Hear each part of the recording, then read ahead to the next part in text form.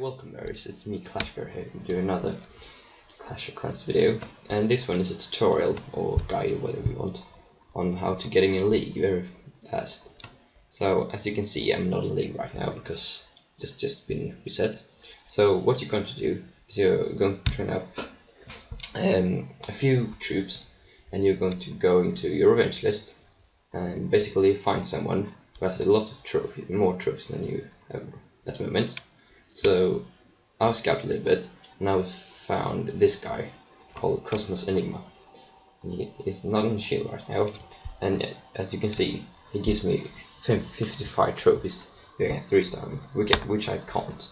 And then what I do is I drop a troop and as you can see I only lose 3 trophies. And it also has a lot of dark elixirs, so I'll try to gain that too. So I'll do, I'll just I'll just do drop these barbarians and take my wizards and take that and I'm out. I got 800 dark elixir and I'll do minus 3. So that's far from what I've seen one of the easiest ways on how to get in your league. So that's my guide. You can do whatever you want if you have a better way, but that's just my way.